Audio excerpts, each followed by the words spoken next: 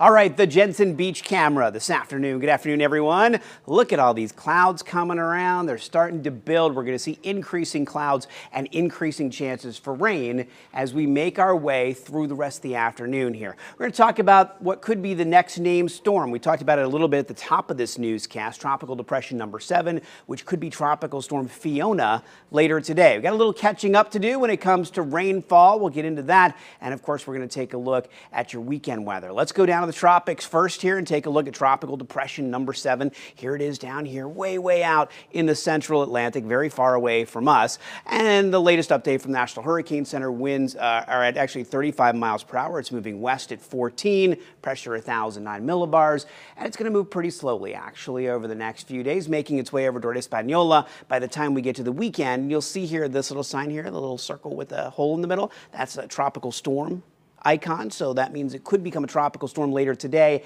and stay a tropical storm as it makes its way over toward Hispaniola keep our eyes on it for you. It looks like it will turn a little bit to the north and northeast after it moves toward Hispaniola. Many computer models have it turning up near the Bahamas or a little farther out into the Atlantic here. A couple models have it going straight on through through the northern Caribbean. Right now, none of the models have any kind of even a little bit of an impact for Florida, but it's going to be close enough to us that it's important that we keep our eyes on it as it continues to move to the west. Here's a look at that front that's dropping down through Florida, almost in the northern parts of our viewing area here. We've got no cold air on the way, but it's really stirring up the atmosphere and giving us higher chances for rain. We've got a few showers and storms already developing down through Deerfield Beach, down through Boca, up around Delray, and off to the east here. Quite a few showers and thunderstorms developing. Let's run future track here later on this afternoon afternoon, scattered to numerous showers and thunderstorms possible across our area mostly heavy rain. That'll be the biggest threat. Then as we get into the overnight hours tonight, this is 2.30 a.m. tomorrow morning,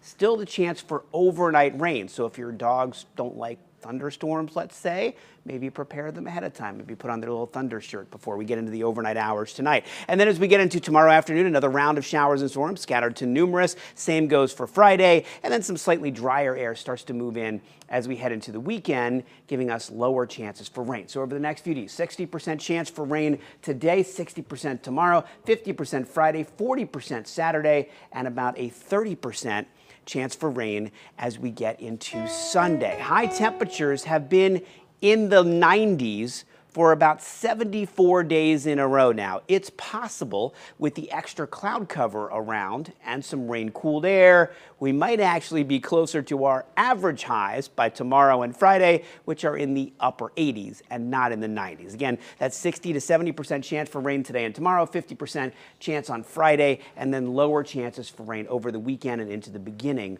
of next week. That's a look at your first warning forecast.